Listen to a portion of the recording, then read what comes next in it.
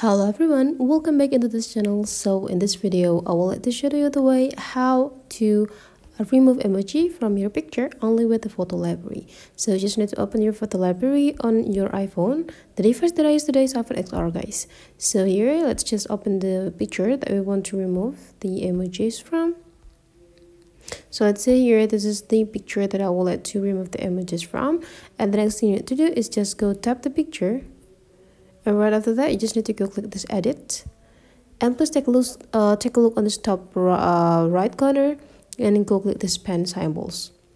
So here I have this type of emoji and I'll let you go click this plus button over here and just go click this add shape.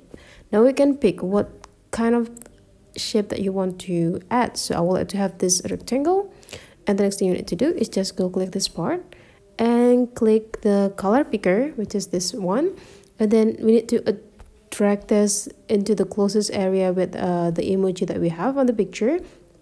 Now we just need to go click X. Now we need to adjust this drag it on the top of this emoji. So slowly drag it.